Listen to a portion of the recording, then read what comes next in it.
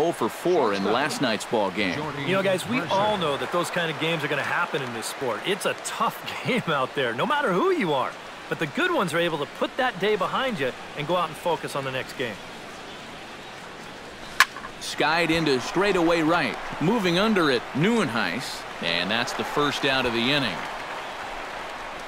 Now that we have a chance, let's take a look at the Brewers defensively. It's brought to us by Majestic. Eric, what do we need to know? Well, Matty, the last place you want to hit it to the shortstop, or actually anywhere between second and third base. That's how much range he has out there at this position. Very aggressive player, makes a lot of great defensive plays.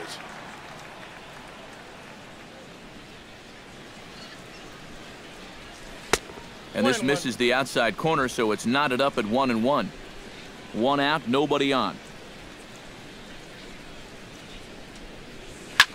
Slapped hard the opposite way. And a base hit as that's into left, and they've got themselves a base runner.